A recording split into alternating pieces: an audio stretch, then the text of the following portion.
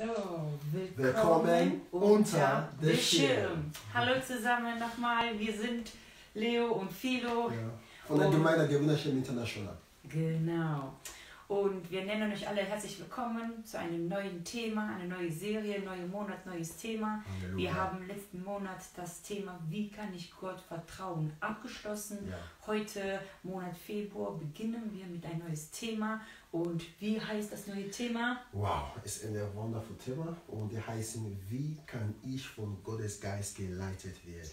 Wow, wie kann ich von Gottes Geist geleitet werden? Halleluja. Das heißt, wir steigen in ein höheres Level, in eine neue Dimension. Wie kann ich von Gottes Geist geleitet werden? Ja. Bevor wir anfangen, werde ich einmal kurz beten. Und zwar danke, Vater, für die Möglichkeit, die wir hier sein können. Danke, Vater, wie wir das neue Thema äh, äh, vorstellen können, präsentieren können. Aber wir wollen es nicht nur vorstellen oder präsentieren, sondern wir wollen es für uns persönlich in Anspruch nehmen. Wie kann ich von Gottes Geist geleitet werden, dass diese Lehre in unser Leben sich widerspiegelt Amen. und dass wir selbst davon ein Beispiel sein können, wie ist es, von dir geleitet zu werden. Segne dieses Thema, segne unser Leben, segne jeder, der es zuhören wird, Vater. Und all das bitte ich dich in deinem Namen, Jesus. Amen. Amen. So, Leo, du kannst beginnen und ähm, stell uns vor, was du vorbereitet hast. Also, okay, bevor ich erstmal anfange, möge der Herr uns unterstützen heute im Namen Jesus. Amen. Der Thema ist, oder das Thema ist, wie kann ich von Gottes Geist geleitet werden? Hier geht es um Leitung. Die ganze Menschheit, die ganzen Menschen auf der Erde suchen nach Leitung. Aber die wissen das gar nicht.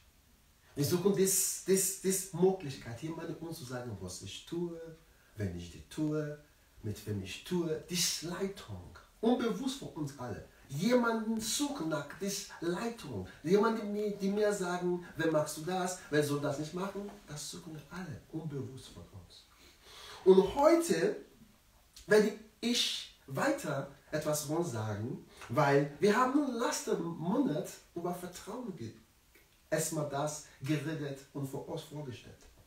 Aber wir kann Gottes Geist, wir kann von Gottes Geist geleitet werden oder wir kann Gottes Geist folgen, indem wir auf Gott vertrauen. Das heißt, unser Vertrauen ist erstmal der Schlüssel, in dem Gott brauchen, um zu leiten. Und wenn wir Gott vertrauen, oder wenn wir selber Gott vertrauen, dann wird Gott uns, da wird Gott auch zurück reagieren. Und er reagiert durch Beziehung. Das heißt, bevor ich heute anfange, über das Gottes Leitung, wie kann man von Gott geleitet werden, werde ich heute eine, eine sehr starke Beispiel zu uns geben. Es gibt einen Mann in der Bibel, der- das Mann war kein Prophet, weil viele Leute denken, du musst ein Prophet, ein Pastor, ein Diakon, ein Bischof, ein Pap sein, bevor Gott dich leiten. Das ist falsch. Das ist was falsch. Gott kann dich leiten, wie du bist. Wo du, wo du jetzt dich befindest. Egal, was du in deinem Kopf hast. Gott kann dich trotzdem leiten. Es ist nicht abhängig, es, ist keine, es, ist, es gibt keine Bedingungen, bevor Gott dich leiten muss. Das müssen wir heute gucken. Es gibt einen Mann und dieser Mann heißt Adam. Und Adam war kein Prophet. Adam war kein Diakon. Adam war ein Mann wie du und ich. Ein Mann wie du, Philo. Ein Mann wie ich. Adam war nicht ein Prophet, aber trotzdem, Gott hat ihn geleitet.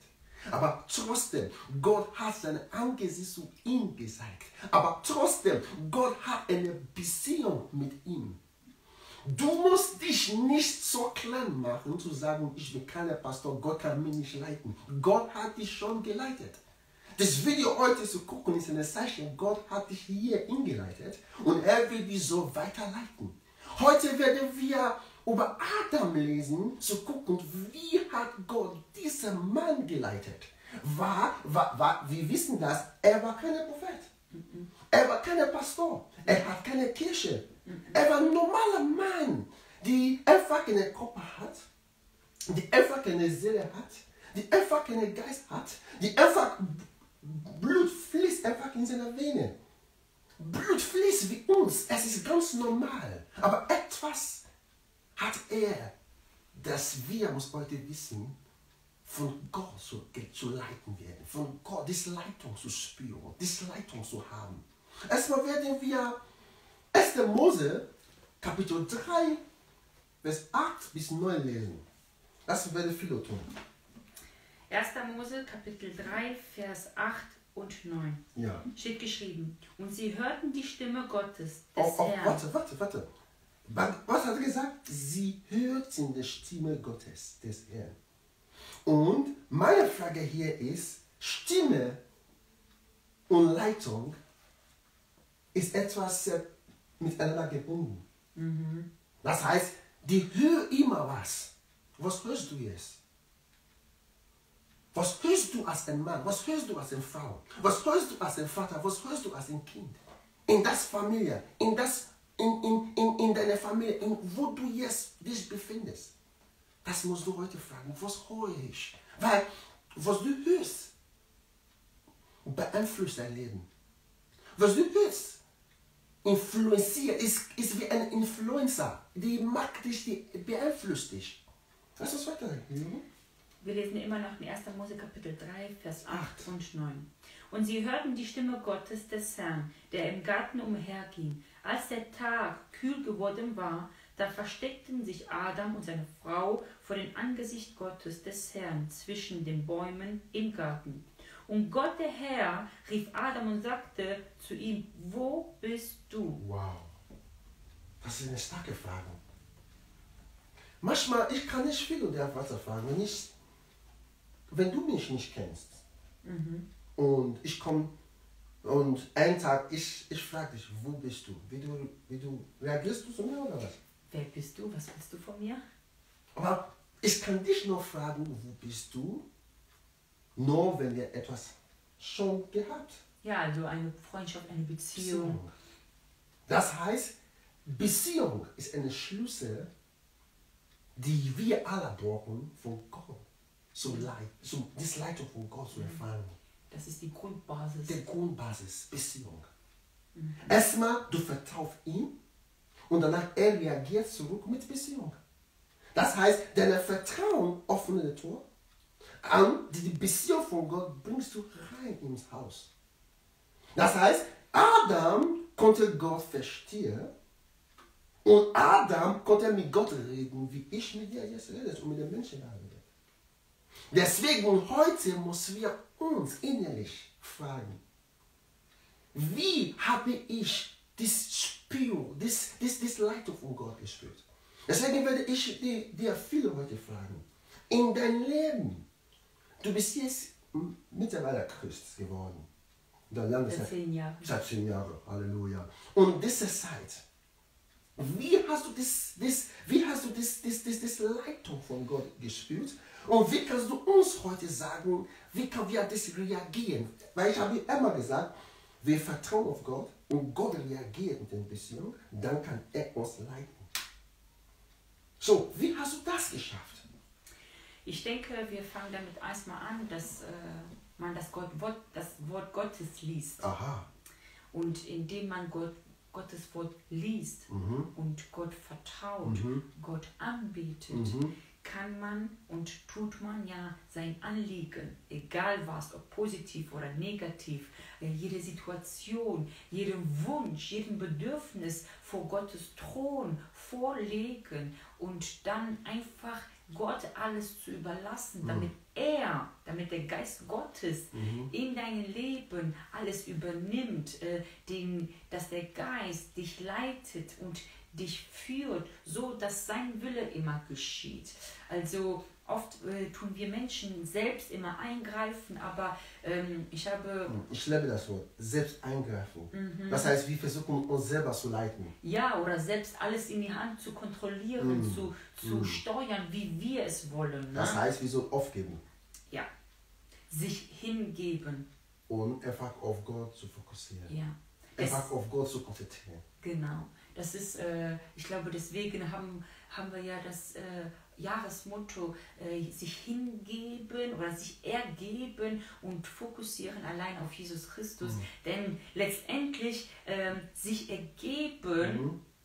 heißt, ist für manchen eine Niederlage. Ja, Aber ja, ja, ähm, gerade in Gottes Geist, sich ihm zu ergeben, ist etwas, Gott zu übergeben, Mhm. damit er alles steuert und äh, leitet, wie er will. Mhm. Und ich kann nur von eigener Erfahrung sprechen, dass wenn ich mich Gott hingegeben habe und alles ihm überlassen habe, Mhm. dass er gesteuert hat. Ja. Und Gott weiß immer, wie er uns am besten aus jeglichen Situationen rausholt, Ja. um dann genau ähm, zu dem Ziel zu kommen, was Gott für uns möchte. Ja. Das Beste und die besten Entscheidungen, die beste Leitung kann nur Gott übernehmen. Ja. Und von daher äh, mag ich es. Es ist nicht immer einfach, Ja, weil, weil oft äh, wollen wir als Mensch, ne, als Frau oder als Mann, ist ja egal, aber einfach die Sache in der Hand nehmen, okay, Mhm. jetzt machen wir das so, damit äh, es schnell geht. Ne?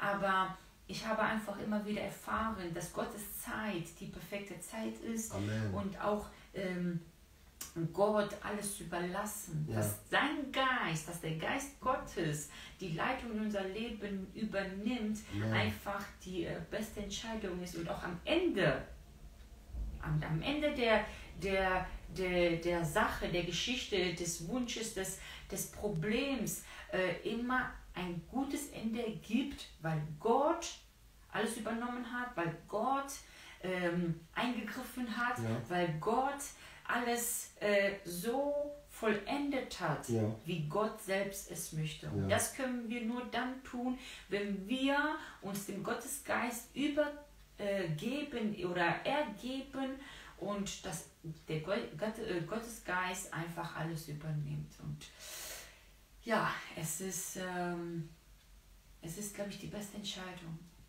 Es ist die beste Entscheidung. Okay. Wir werden Abläufe dieser Serien, wir können heute sagen, heute ist Teil 1 oder Intro, wir können auch sagen, heute ist Teil 1, nehmen wir so an. Aber wir haben vier Empfehlungen für euch. Wie kann man oder wie kann ich von Gottes Geist geleitet werden? Es gibt vier Empfehlungen.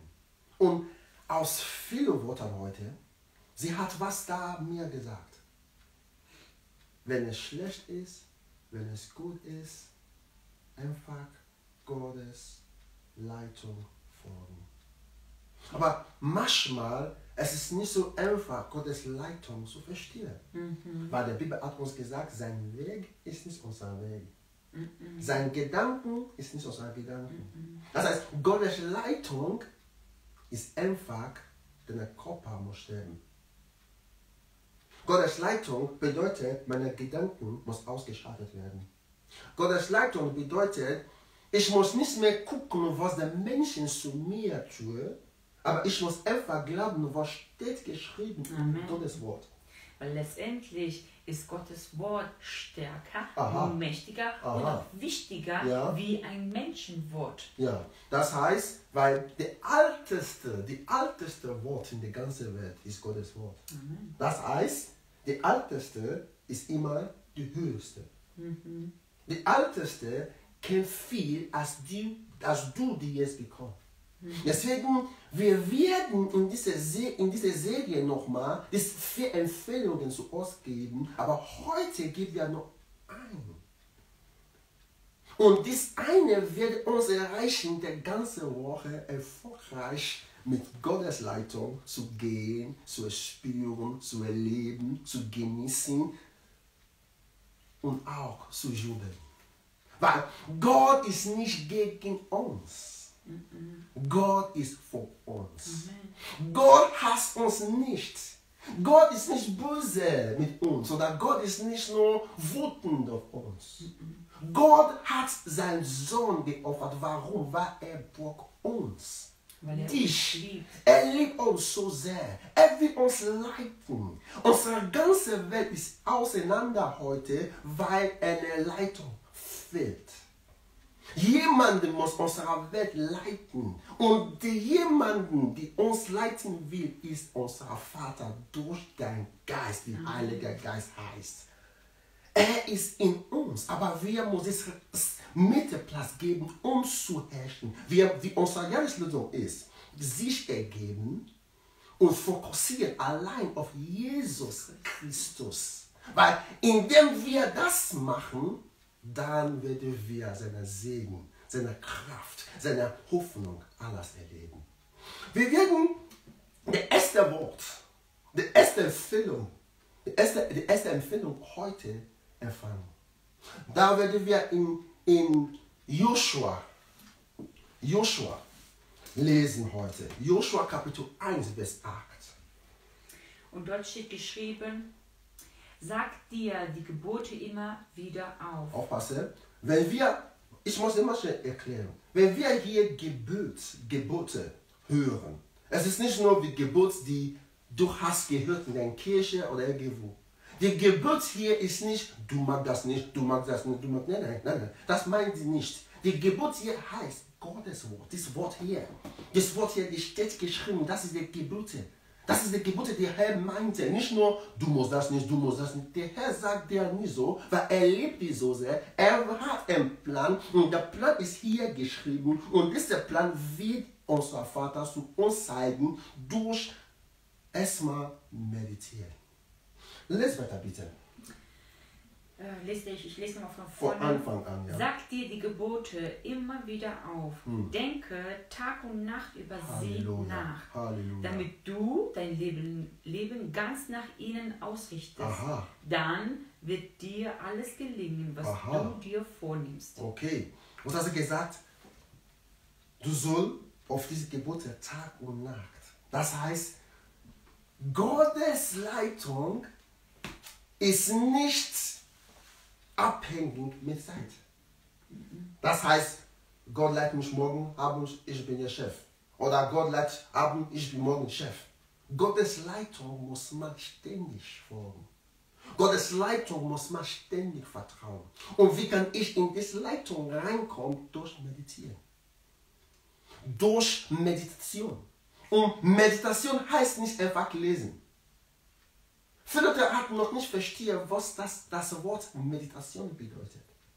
Meditation ist eine Akt, die man, die man übt, etwas tief reinzugreifen, etwas stark zu erleben, etwas stark zu verstehen. Meditation ist ein Moment, du sitzt da, aber dein Körper ist nicht, dein, dein Geist ist nicht da. Lesen, du kannst lesen, die ganzen Leute, zum Beispiel viele hat was gelesen. Das ist Lesen. Meditation heißt, viele können auf diese Stelle, nur diese eine Ort, die sie jetzt in drei Minuten oder Sekunden gelesen, fünf Jahre da bleiben. Deswegen, der, er hat uns was gegeben. Gewinnerschirm International. Gewinnerschirm International ist eine Kirche, wir bemühen uns, nicht nur seine Gegenwart zu besuchen.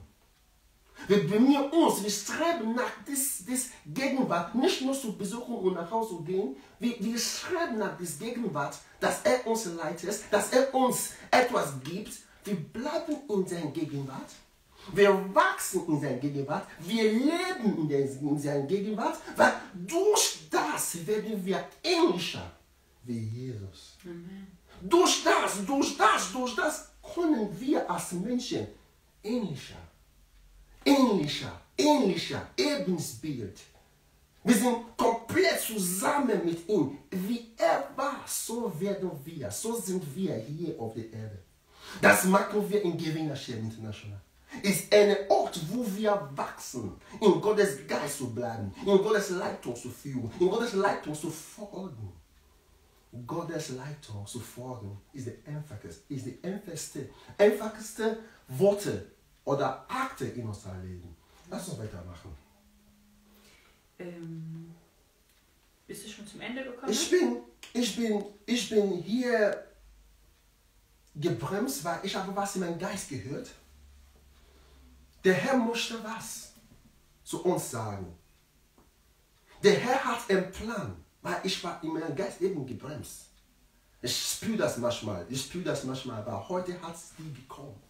Und das Bremsen bedeutet, der Herr möchte unserer Erde reinkommen. Der Herr möchte was mächtig machen. Der Herr möchte was ändern in deinen Gedanken, in meinen Gedanken, in unserer Welt. Der Herr ist hier, der Herr ist hier, Kabodoshia.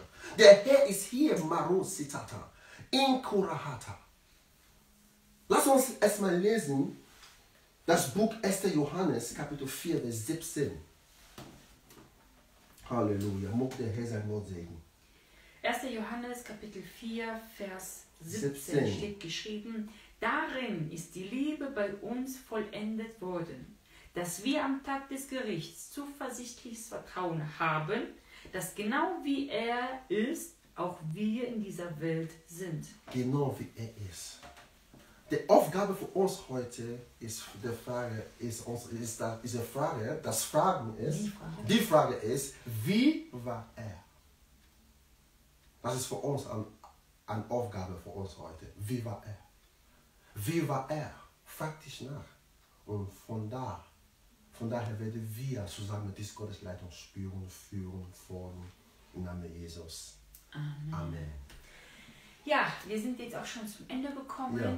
Wir werden äh, nächste Woche weitermachen mit Mhm. dem Thema, wie äh, kann ich von Gottes Geist geleitet werden. Mhm. Und äh, es ist immer wieder eine Freude, mit euch hier zu sein. Ja. Und ich hoffe, es gefällt euch und Mhm. es ist auch eine Lehre für euch und so wohl auch für uns, Uns, alle. ja. Und äh, dass wir in Gottes Geist einfach alle zusammen wachsen können. Amen. Ja, äh, dann werden wir mal uns verabschieden und äh, wir, würden, wir wünschen euch eine schöne Woche oder einen Ja. Start ins, ne, ne, ne, einen, einen guten Start in eine neue Woche. Ja. Und äh, Möge er euch schützen, bewahren, lasst Angst auf euch leuchten und sei gnädig zu euch. Im Namen Jesus. Amen. Bevor wir gehen, vergesst das nicht. Wir Kommen unter den Schirm. Bis nächste Woche. bis nächste Woche. Tschüss. Ciao.